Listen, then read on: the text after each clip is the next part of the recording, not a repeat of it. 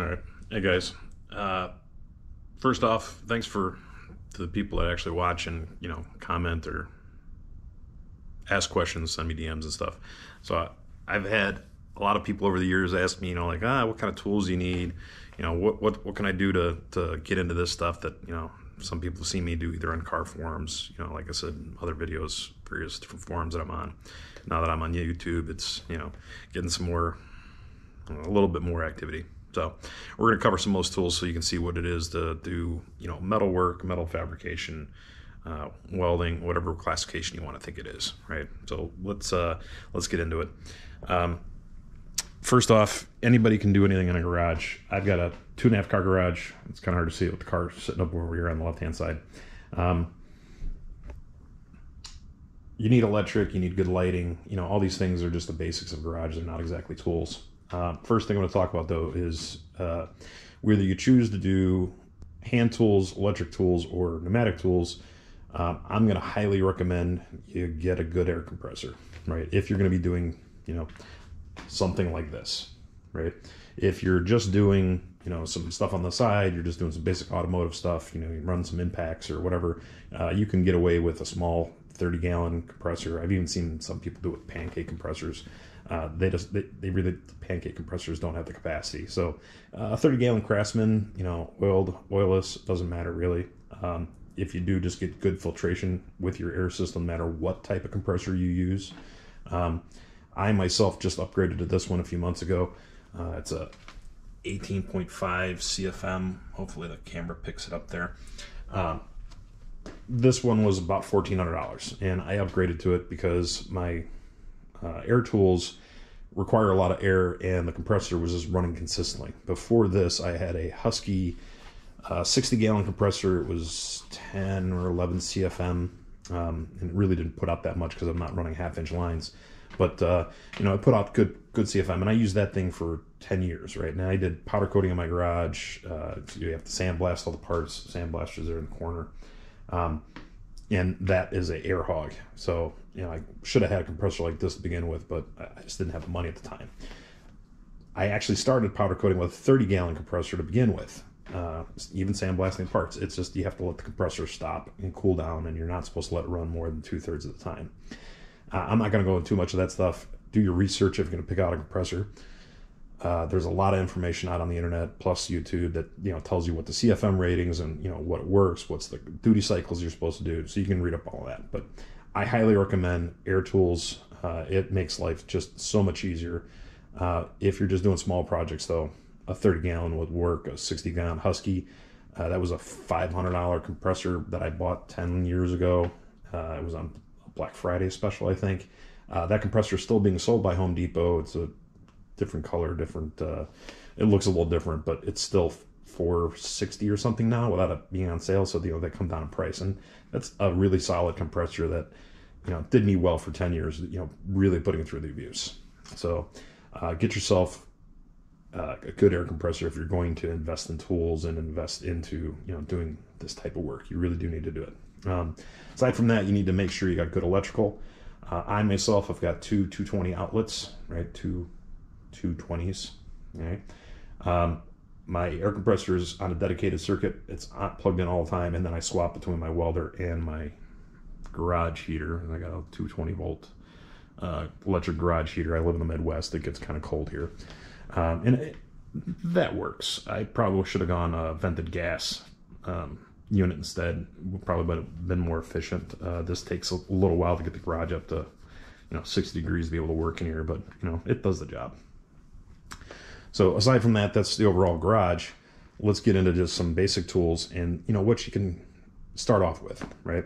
Uh, anybody can start off with some simple hand tools, right?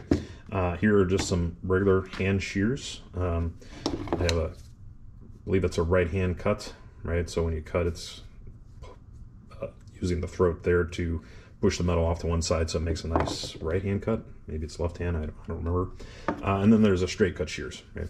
Uh, these work, they will cut sheet metal. Um, you can't cut anything bigger than that, but you know it'll cut sheet metal just fine. I do this for you know small trimming all the time.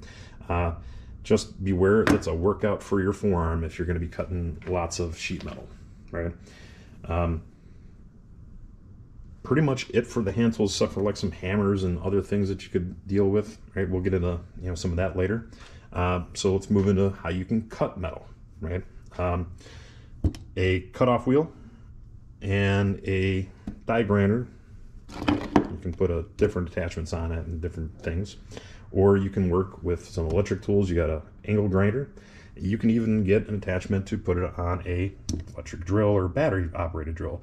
I, I don't recommend doing it that way. It's uh, just on how thin these blades are. If you twist it while you're doing the cutting, which you can easily do with a the 90 degree angle of holding a drill, you can shatter that uh, that disc and really do some damage. Uh, it's much easier to do it with an angle grinder. Plus, it's got a lot more power. It's actually built more for that. Uh, but for cutting tools, get yourself a cutoff wheel. Uh, I got this one here. You're going to see kind of a theme with this uh, this video.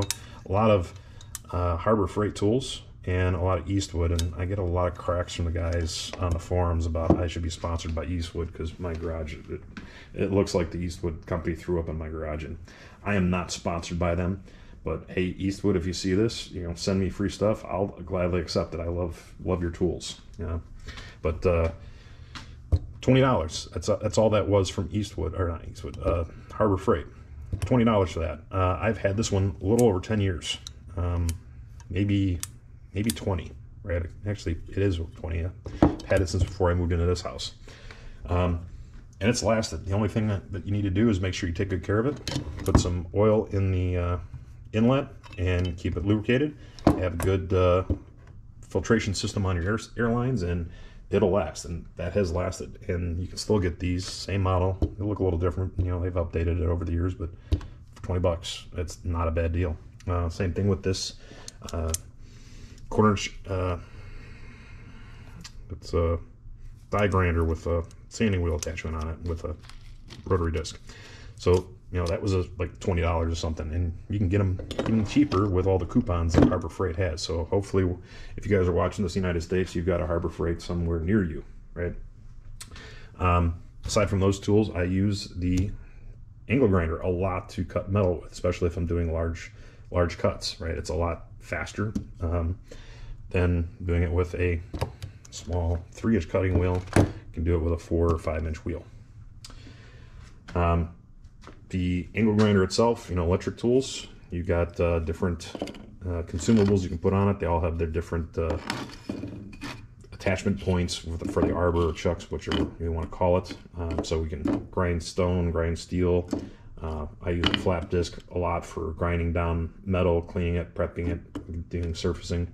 Um, you got different types of wire brushes you can get attached to it for stripping off paint, rust, scale. Uh, this is a finer brush of it. and It allows you to use the that type of setup versus you know, this type where you're sanding it this way. So many different options to get for it. These are all pretty cheap. So you get $20 for these tools. This is about 60 bucks. Uh, it's a Ryobi. I'm not uh, Team Green or Team Red or any of that crap. It's It was on sale at Home Depot. It was a good price. It bought it, and it's lasted many, many years. Um, so get yourself a good angle grinder, get your different attachments for it. The consumables are, you know, pretty pretty cheap. You know, eight dollars. Uh, a lot of these came from Harbor Freight. You know, really cheap. Just be careful where your wear eye protection and stuff because the stuff will throw slag and you know grit and little bits of wire wheel. Um, cutting metal, back to that as well. Getting back to that, you've got a couple different options you can do. This is called an air nibbler, and that is from Eastwood. Uh, this is a phenomenal tool. I love it. The only problem that I can complain about it is, is it leaves these uh, little chunks of metal. Uh, it, it, flies around the garage like crazy. Uh, it ends up in my boots, and then I track it in the house and you know scratches up my, my floors and stuff. So I try not to use this because, uh, yeah, it uh, leaves a lot of waste on top of it. But this is great because it allows you to make intricate curves in the metal. You can pretty much cut any design you want in the metal. It's not a uh, straight cut tool. Uh, onto a straight cut tool, you have a shear. Uh, this one is again by Eastwood. Uh, this works great. Uh, it is only really used for straight cuts. you can't really, you can get it to turn a little bit here and there, but it will not do a 90 degree cut in the middle of a panel. It just it won't do it. It's not what it's meant for. Uh, it's just meant to zip off zip off you know a rough cut. Um, and it actually does this to whatever you're working on. Um, so leaves a lot of excess crap. Um, moving along though, you have an air body saw. Um, this is from Eastwood as well. I bought one from Harbor Freight. It was completely gutless. Uh, that was like a $20 tool, and honestly, it was worth that wasn't even worth that 20 bucks. Uh, this one was about 60 or 70 from Eastwood, but it's got lots of torque, lots of power. Uh, really good for making cuts where you can't get into, you know, a corner, you know, with a angle grinder or, you know, the cutoff wheel. So this is really great for that purpose. And just be Sarah, just be careful. Just like with a sawzall, you got to get the the cut, what you're cutting, right up against the guard, right? Um, now that really covers all the things you can do. Let me back up. There's another way of doing it. You know, there's a manual version of cutting steel. This is a throatless shear, and this is what I actually use the majority of the time to cut metal. use, if you watched my previous videos, you saw me using this to make the transmission patch. Um, I use this consistently the last two or three years. Uh, it's a throatless shear. You can make curved cuts in it. You can do different designs. Um, and it's it's super phenomenal. It's super sharp. I've actually not had to change the uh, the shear on it or sharpen it. Like I said, I've used it a lot over the last two or three years, and to me, this is this is even better than like the nibbler or the shears, uh, and it's a lot faster than doing it with a cutoff wheel, and of course, no mess either. Um, really great tool. This was 80 or 90 dollars. I don't remember. Maybe it was 120, somewhere in that range. Uh, again, it's an Eastwood tool. You can look this up on eastwood.com for any of the things that I'm uh, discussing here, and you can uh, see the pricing or the current pricing for it because some of these tools, like I said, I've had for 10, 20, or even 30 years in some cases, and the prices have changed. The tools are a little updated, etc. All right, so that's for you know cutting metal. Now you're going to get into some of the grinding of metal and you know uh, shaping, etc., surfacing. So we had talked a little bit about this uh, die grinder with a cutoff or sanding disc on it. You know, this is very useful. Twenty dollars. Uh, I use it for a lot of the finish sanding that's going on. Uh, I used to use the angle grinder with the flap disc attachment, uh, but problem with this is it's a very large surface area. It's not meant to get into some tight spaces, and it removes a lot of material very quickly, and you can accidentally remove too much very quickly. Um, especially since you look at the surface of that, there's a wide variance of where you can get you know stuff sanded down. So I've actually been using uh, a Dynafile or a mini belt sander, whichever you want to classify it. Now, I do have one that I got from Eastwood. Um, I thought this was going to be a great investment. I think I spent 69 or $79 for that. Uh, used it two or three times, went through about 20 belts in that two or three times, and I have not used it since. Uh, it's not a very good design. They have some updated version of this. I don't have those. I haven't tried it. Um, but this one itself, uh, it's a short belt. I don't remember what the size is. I think it's 12 inch belts. I, I don't remember. I have to bring up the tape measure. Uh, but the design flaw on this that I didn't like is it's got a very tapered edge on the roller at the very end of it and it allows the belt to walk left and right very easily and then the belt just shreds. Um, wasn't worth the money. So I actually found this one on Amazon. It is a Onyx by Astro and it's had a lot of good reviews and I think I paid $160 for it and it is worth every penny. Um, this tool is phenomenal as far as how quickly it can remove any type of material. Uh, the belt lasts forever no matter what type of brand you buy. Uh, I actually actually recommend these guys, uh, Red Label Abrasives. Um, their belts last forever. They do a lot of cutting. Uh, it does leave a mess, but it, it you know it's a workhorse and it cuts down metal really quickly. A lot of the weld prouds that uh, you need to get you know, surface down, it just cuts through them pretty quickly. So really great tool. I cannot speak highly enough about it. Again, it's a Onyx by Astro. Again, had a lot of good reviews, and I've been using this for the last year or so, and it has been phenomenal. Um, everybody's probably seen these in just about any, any car show. It's just a uh, air chisel, right? And it has its uses. Um, but this is what I would call, call a bull in a china shop. And I've had this one 30 years. I usually use this on my uh, 67 Mustang restoration that I did. I started when I was 14 and I didn't that till I was like 18 or something, but I use this, you know, pretty much consistently the whole time. And it's, it's a great tool, but as you can see, I don't even have a air inlet on it because I haven't used it in forever. Uh, instead, get over here. I've been doing the manual version of it. And I got this again from Eastwood. I don't remember what it's really called. I call it a body blade or, you know, a, a seam buster or something. There's a part number for it. Uh, I think it was like $20. Um, I can't recommend this tool enough. I use this 90% of the time to bust through spot welds, uh, even sometimes cutting out old panels because it does have a blade edge on it. It's not sharp. You know, you can't really cut somebody with it, but it will do damage to steel, uh, especially sheet metal. Uh, really good tool. You just, you know, get the edge into a uh, your spot weld and hit it on the backside of the hammer, or use the blade section of it and you hit it on the backside here, and, and it just bangs right through all that stuff. a lot more precise, a lot more control than you know using your bull in the china shop type of tool. Uh, great thing there. Um, speaking of spot welds, so get yourself good center punch. You know they have the manual punch versions. I like this one's because it's got spring loaded, uh, so you can set the tension on how hard you want to you know, leave your indentation for your drill bit. Um, really great. That's a hand-me-down for my dad. I've had that 20 or 30 years, but I've still seen these, you know, in you know Lowe's and Home Depot and even on Amazon they sell them about 10 bucks. Uh, spring-loaded version, highly recommended. Uh, spot weld cutters that you put in your drills. Um, this one here is uh, a bit that I bought from Eastwood. It was about 40 dollars, I think, 40 maybe 49 or 50 bucks. Uh, I used it really good, really sharp for the first hundred or so uh, spot welds that I cut. And then, you know, I didn't use enough oil and I didn't keep it cool, especially when you're using, you know, old cars like uh, you know, 60s and 70s cars. There's a shit ton of spot welds in them. Uh, so I dulled the tip of it. It does not cut very well, but for 50 bucks, I don't recommend it.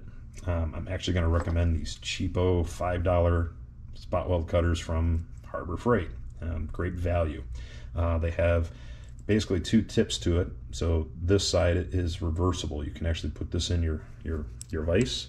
Uh, I think it's a reverse thread. You spin it off and you flip it around and you retighten it back up, and then you have another spot weld cutter on the same thing. Uh, the only thing that sucks about them is the tip wobbles, so you got to be careful it doesn't jump all over the place. It, it can you know cause you some damage when the drill just jumps out of your hands and it does do it especially at higher rpms. But for five bucks i don't remember if they're five bucks a piece or it's five bucks for a two pack but you know really great. You get yourself you know a 10 of these and you equated that and you can get 20 to 50 spot welds with this especially if you're you know not overheating the tool. Uh, I'm going to talk about hammers real quick. Um, I always recommend having a hammer with a wooden end of it. I use this all the time to hold two pieces of metal together while I'm welding, right? Because the the wooden handle won't really catch on fire, and then of course you won't uh, you know, complete a, a, circuit with the, the, the weld. So having you know a wooden handle is really good. It you know helps you get two pieces of metal lined up, especially if there's some tension there. And don't cry, welders. I know that you shouldn't be welding two pieces of metal that don't match up without having to force it, but you know, hey, you got to do what you got to do sometimes. You know, make safety stuff. Make sure you got good glasses. Uh, get yourself some decent work gloves. You know, I buy these crappy ones from Home Depot and in Harbor Freight, but uh, uh, be careful with the polyester. I think it is the polyester versions. They'll, you know, just sparks will set it on fire and burn holes in it, right? And it's not even worth wearing the glove for it then because your your hand's not going to catch on fire. But if you're wearing the glove and that catches on fire, it's going to burn your hands. And I, I've done it where I burnt my knuckles. You can see here it's burnt through on this pair. I need to replace it. But uh, get yourself a nice set of you know heavy duty work gloves. These are my actually TIG welding gloves because they're you know a little bit more dexterous. So you can you know feed your wire in a little easier, um, and they're a lot easier to work with than you know the big cowhide you know leather gloves that go up to your elbows for you know MIG welding. But you can use these for you know grinding off stuff, um, doing a lot of metal stuff. Uh, get yourself face shield. Uh, face shield is very nice, keeping the sparks out of your face. Um, even wearing safety glasses, stuff can still get behind the glasses. So sometimes wearing a shield in the glasses is is well worth it. Uh, a shaded pair of lenses, if you do like plasma cutting and stuff like that, that's like grade eight on the scale. I don't remember what the the helmet ratings are, but you know that that one's eight, so it shields your eyes for it. Uh, and then of course you know different types of safety glasses with uh, you know side side protection. Um, getting into more metal shaping, Harbor Freight has its value. You know, some things are super cheap and they are worth what they're what the the money that you put into it. And sometimes you get a lot of value for low cost. Sometimes you have to spend the bigger bucks to get a better tool though. That's where Eastwood and Woodward Fab and a bunch of the other manufacturers that make a lot of these tools come in. But for twenty dollars, I got uh, four hammers. There's two more that are like this that are by the car that I was working on earlier. Uh, but these two hammers plus four dollies all came from a kit in Harbor Freight for twenty dollars, and I don't remember if it was with a coupon or not, but you know, twenty dollars is twenty dollars. Maybe it was thirty with coupon or thirty before the coupon. I don't know, but you know, it's got all these different shapes, which you're going to need when you're doing metal fab, and especially if you're a person that's learning it, you're gonna you know screw some things up, and you need different different faces, uh, different impact points. This one's got a, a pick head to it. Um, this one's a reversible. It's got a flat edge that's circular on one side, and it's got a rounded edge, so that you can shape something with a contour in it, uh, square edge, and I believe that's the other two got some different heads and different different features. Um, this one is actually a door skinning hammer. Um, it says Maddox, but this is, I believe, from Harbor Freight as well. I think this was 20 bucks for this. It came with a dolly and a spoon for skinning door handles. And you can kind of see this better here. That was what I was surfacing in my last video if you were watching, because uh, the face kind of looked like that beforehand. And when you hit metal with a hammer and a dolly, and if they look like that, all you're doing is you're transferring that into your metal. So you always got to surface it. And that's the only downside of these, you know, $20 hammers and dollies that you get from uh, uh, Harbor Freight is that their tool steel is a little bit lower quality, or not a little bit, but a lot lower quality, and the faces uh, all get marred up very, very, very easily, and you got to surface them a lot more. Uh, the higher grade hammers they may cost uh, 20 to 40 to 60 dollars themselves but then they don't get marred up as easily. So this is a Fairmount hammer. I got this I believe from Eastwood. This was 40 to 60 dollars for this hammer right? So you can see the big price difference. One tool 40 to 60 dollars versus four hammers and four dollies for 20 right? Uh, this one is a, a special tool. It's got a shrinking head on it. So what you do is you you hit the, the metal with the dolly on the backside and you just rotate what you're doing here. When you hit it and it ends up shrinking the metal for you, right? Um, very useful if you have to shrink something in the middle of a panel. The only thing is it's going to leave a lot of marks and, and uh, mar up the metal a lot, right? Uh, but very good hammer and it's got its uses. Uh, obviously, you got the different dollies and different shapes. I bought some one off. There's a couple more that I've got with the other two hammers by the car. These are very heavy. Uh, that's about a pound and a half, maybe two pounds. But this was a dolly I got from Eastwood. Uh, it's got some different contours and shapes on it. This one's real nice, and this one's probably about three pounds. Uh, very heavy. Uh, really good for you know doing stuff. And again, this dolly, I think it was 20 or 25 dollars just for that one maybe it was 40 same thing there uh, this spoon came with that door skinning set so it came with that hammer uh, really good for you know slapping steel or you know, getting into a hard hard to reach spot um, but this is really if you have an oil can effect on a panel and you need to slap it out and put some tension back in the metal same thing with this one this one's a, about four pounds uh, heavier than most hammers uh, This one's made by Martin. I don't remember where I got this from. I've had this one for many years, but uh, really good for you know stretching long panels like hoods or uh, door skins, etc., for getting things back into shape.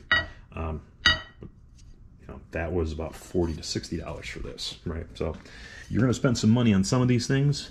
Sometimes you just need to spend 20 bucks and you get yourself a, a, good set that'll work with it. If you're just doing some basic metal fab and you just need to, you know, bang some things out and straighten it out, $20 Harbor Freight, can't go wrong. You need something more specific, you might spend $20 for one tool or, you know, 40 to 60 for one tool, but if you buy it and you take care of it once, put it in your toolbox, you'll have it for the next time around.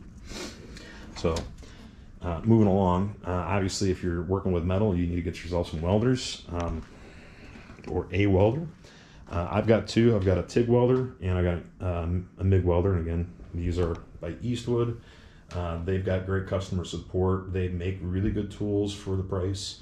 Uh, they're really geared towards that DIY type of guys. Uh, they also do a lot of videos, you know, explaining how their tools work and the different things that you can do. Uh, kind of speaks to me. So I'm, I'm more than happy to give them my business. So uh, this is a 110, 220 TIG welder. Uh, really good. could you get a Hobart or Lincoln or Miller for about the same price or more and have a better product? Probably. In fact, most definitely. But for this, I think this was four hundred dollars for this unit. Um, it came with you know the pedals and all the tools and the basic consumables get get you going. Um, definitely worth the money. Can't complain. It's been rock solid. I've not had an issue with this welder. Uh, I've also got a plasma cutter down here as well that I bought from Eastwood see the label there. It's a VersaCut 20. Um, I don't remember how much it was, but uh, probably about $200, maybe a little less. Uh, but you know, getting the plasma cutting, it'll cut eighth inch steel pretty pretty good. Uh, I think I can get. I think I've cut up to quarter inch plate. Um, you just have to turn the regulator up and get more air supply, and, and it's not a clean cut, but it, it will cut through it. And when you're trying to cut quarter inch plate, you know, it's not easy. It's not not quick. So uh, not a bad investment. I do use it. Um, when I do have to use it, it was worth the money. Here's my uh, MIG welder. This is a 220 unit. Um, you can get these in 110. They do make smaller versions of it. It's just what size can you weld. Um, it's been pretty solid device. I've only had an issue with the gas solenoid getting stuck where you pull the trigger and the gas doesn't shut off until you physically shut the unit off. Um, Eastwood was great with the support. They overnighted the parts for it the next day. You know, warranty was great. Their customer service is phenomenal. It's not like with uh, Harbor Freight. I had one of their welders. Uh, I needed to replace the torch on it. Called them up, and it was worse than dealing with most other uh, support groups. In fact, if I ever have to call uh, Harbor Freight support, I'd rather just throw the tool in the garbage and go buy a better unit, right? So not the case with Eastwood. I can't speak highly enough about them. And again, that's why a lot of guys joke that you know I should be sponsored by Eastwood.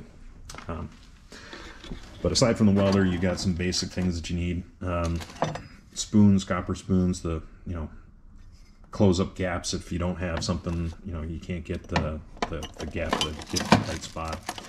Um, you saw this one I think in my previous video if you watched it. You know it's got a magnet uh, so you can hold it in place. Um, just piece of copper works good. Just make sure you got something on wearing gloves for the handle because it will get hot. Um, Clecos, you need to hold the nunnel in place. We'll get into that in a little more detail. These are uh, 3 16 Clecos. Again, got this from Harbor Freight. They're not Harbor Freight, uh, Eastwood, sorry. Um, came with a good number of Clecos, the tool itself, uh, panel clamps, you know, good value. I think it was $69 or something. It was still, it was worth it. Could you get it cheaper on Amazon? Sure.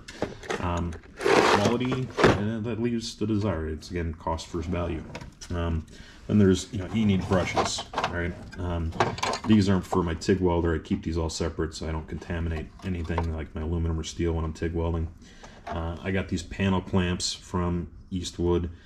I think they were like $20 or something. Uh, I don't recommend them unless you're changing out the wire to a thicker wire, thicker wire to close this gap up because otherwise you're trying to bridge a gap that wide and it's they hold their value or they, they have their place. Uh, I just I prefer to try to get a close butt weld where I don't have to have something like that and just use magnets, right? Um, moving along though, some more of the specialty tools. Um, again, some Eastwood stuff. Uh, you can tell by their blue. So this top piece here is a metal brake. Uh, I don't remember, I think it's three feet. Maybe it's 30 inches. I don't remember the exact width of it, but really great because it can create sharp sharp 90 degree bends or any degree bend you need, or create a soft bend depending on how you set up the fence. Uh, it's super heavy, that's why I'm not dragging it out, and it's also another one of my tools that has to be mounted in the vise. So, um, yeah, it's just super heavy. I'm not dragging it out. It's like 60 pounds, but really great. For years, I just used my 100 year old vise and just bent metal over inside the jaws, and that worked. And if you're doing something, you know, just minor stuff, you know, onesie twosie here and there, that's perfect for it. Um, but if you're going to start bending metal and you need it to be precise, you need to have direct curves. Say you're making a patch panel where you got a style line or something, you want something like this to be exact or precise. So you're not just loading up body filler all over to recreate the, the style line. Uh, believe that was like $80. Uh, don't quote me on some of this guys. You can you can look it up on Eastwood itself. But again, really good tool, and, and, and it's been flawless. I've had no issues with it, and I've done a lot of work with it. Uh, below that is a uh, bead roller, and it's got a nice uh, large throat, so you can do some decent sized panels with it. This is the non-motorized version. This one's a couple of years old. I uh, bought this before they came out with the motorized versions. So the only complaint that I have with this is it's really difficult to put a bead in a panel when it's just you and you got to operate the crank and control the metal at the same time. Um, so they do make an add-on to make convert these from manual to an automatic, and I, I, may do that at some point in the future, especially when I start getting into uh, fabricating more panels that that I want to put beads in. Uh, but this was uh, I don't know, 100 to 250 somewhere in that range. Uh, came with all the dies. Uh, super great tool, and for the price point, you couldn't beat it at the time when I went looking for it. So uh, highly recommend it if you if you actually want to get into doing some uh, decorative art or you want to create your own floor pans or things like that. You know, this is this is good good stuff. Uh, again, some more Eastwood stuff. I got a shrinker stretcher over here for uh, shrinking and stretching metal. Um, you kind of see inside here the jaws. So this stretcher, how it works is when you pull the handle down, it takes and pinches the metal, holds it tight, and then it spreads it apart. And then the reverse for the shrinker where it does this. And it works on the outside edges of metal. It won't do, uh, you know, a shrink or stretch inside the middle of a, a, panel. It can only work on the outside edges, but really useful. Uh, I think these were 60, I think it was like 120 or 30 because it was a pair that I bought at the time. They make them now where you can just buy one and then you take apart the jaws and you flip it and it can do reverse. Um, I like being able to swap, swap very quickly in it, so I actually was happy I bought the, the upgrades to it, or getting both per se. Uh, up here, I've got a very cheap um, English wheel. Kind of hard to see it. I got a piece of pipe here in the way. Um, my wife found this for me. I don't know where she got it, uh, but she told me it was like 40 bucks. You know, that's that's a steal for that. Uh, it's not the greatest quality. Uh, there's a lot of play in both uh, the lower die and the upper when you when you put them in there. Uh, but it does get the job, and it allowed me to learn how to do English wheel in my garage versus you know playing with it at some other shop and you know getting 20 minutes on it and then not being able to touch it for another year. Uh, this is uh, only able to be mounted to a vise. Uh, they you know Eastwood and Wood, Woodward Fab and a lot of those places they make English wheels. They're they start at like two or three hundred dollars, and then you have to mount it to your your uh, workbench, or you have to buy a stand that's another couple hundred dollars to be able to use it. So for forty dollars or whatever that was, it came with the wheels. Excuse me while I pull this open here. So it came with all the wheels for it. Right. So here's your upper wheel. Here's the lower lower wheels guys and it came with a you know a lot of set of it and these are actually really good grade tool steel which I was surprised for when I heard about the price um, do you need one do you need an English wheel well If you're just doing some minor stuff, no. If you're going to start fabricating your own panels and you want to start making some intricate designs and curves, uh, I highly recommend you get it. Uh, you can probably find this on the internet somewhere if you did a Google search. I, I probably should have done that for you guys, but sorry, I didn't, didn't have the foresight to do it. Uh, over here, I've got the dies for my uh, bead roller. So it come it came with a set. Um, see here, you got the different types of beads that you can roll into it, uh, different thicknesses and depths. Uh, it's also got the ability to flange metal, uh, tip over dies, many different things that you can do with a bead roller. So it's not just putting beads in a panel. Um, touch about just some basic tools again. Uh, a bench mounted belt sander is a huge boon to you know metal fitment and getting things you know done right. Um, this is from Harbor Freight. I think it was forty dollars. Now it's a cheapo belt sander. The the side disc, the orbital one, is garbage. I, I can't use it anymore. Um, but I use the crap out of the actual belt sander. Um, if you watched my transmission tunnel uh, video, when you saw me moving in and out of camera during the time lapse, that was because I was walking over here and I was, you know, just sanding down metal, taking off a sixteenth of an inch here, an eighth of an inch there at a time to get, you know, a nice fitment so I can get a close, you know, butt weld. Um, so I use this thing all the time. Uh, and again, forty dollars from Harbor Freight. It probably could uh, you know, depending on the coupons. I don't remember what the price was. Uh, I've also got a nice. Uh, you can see it from over here, uh, right next to the welder or the air compressor is a, a, a bench mounted uh, bench grinder. Sorry, having a little aphasia here. I can't remember what some of this stuff is called. Uh, that was forty dollars, right? And I use one side dedicated for my tungsten, and one side I just you know for whatever, but one side's just for my tungsten. And I've also got a, a polisher or a buffer wheel uh, or a buffer motor set up just like that. Uh, it's you know, packed away so I keep all the stuff clean. So wrap it all up here. What do you need? Well, you can get away with some of the basics, right? Just hand tools, some a drill, an angle grinder, you know, a basic welder. Um, I, I, welded for years with a 110 Craftsman welder. You know, my brother still has that thing, and it's worked forever. Uh, and it gets the job done, especially if you're just welding sheet metal, right? You don't need anything super powerful. Um, many years I used, you know, just hand tools to cut metal. And then I was like, I got tired of working on my forearm. So I got upgraded to a cutoff wheel and then to, you know, uh, a cutoff blade on a angle grinder. And then, you know, I was tired of, you know, creating dust and, you know, shit and taking 20 minutes to cut, you know, a foot panel. You know, get out the air nibbler or a shear and zip right through it. Now it's a throatless shear. So you can start off with some basics. Um, honestly, if I had to equate to all the tools that I have in my garage, including my welders and the air compressor, I'm still about five to six thousand dollars in tools, and that's over the course of 30 years, right? Some of the tools I don't have from 30 years ago, but you know I use them for a long, long time, right? Um, the previous air compressor, $500, lasted over 10 years, right? And my brother still has that compressor. I just gave it to him when I upgraded to this one, and it still works. He's putting it in his garage, right? Uh, so I know that it was worth the investment. It was worth that 500 bucks all day long. This, these $20 part, these $20 tools, worth every penny plus some, and you can't beat it. Um, this tool I foresee being able to use for the next 10 years. Um, and it was worth $160 all day long, right? Uh, some of the other tools, was this one worth 60 bucks? No, definitely not, right? In fact, that's that's scrap metal or, you know, goes in the garbage. You know, it's just taking up space in my toolbox. Um, did I need to get the the shears?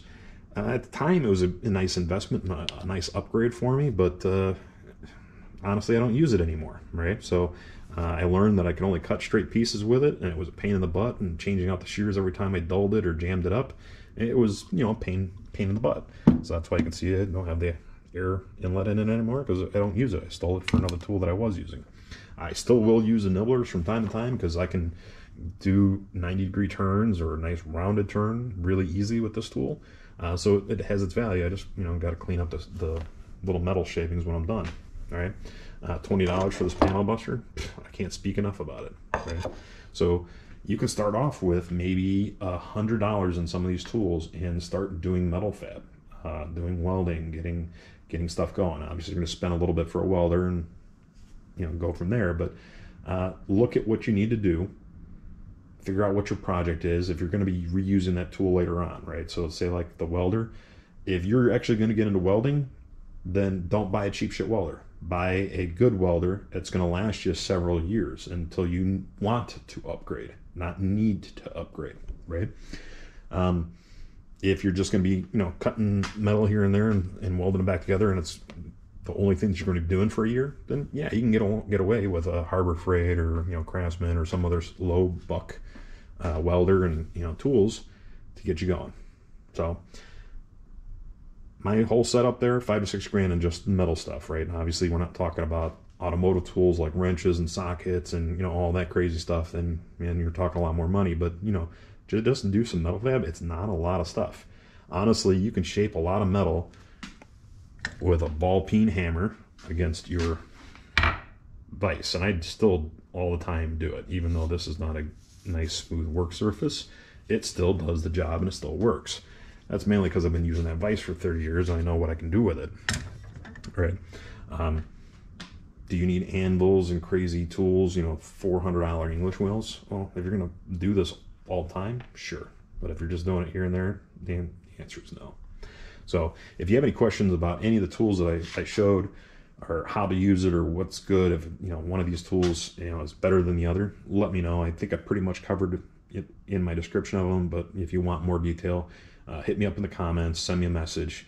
Uh, you know, hit like or you know subscribe to my channel if you would. I, I don't care about pimping the channel, but uh, you know it's nice to know that, that I'm adding value here and people are you know getting some getting some value out of my information other than just listening to me ramble. All right, so thanks for watching, guys. Uh, Merry Christmas. Um,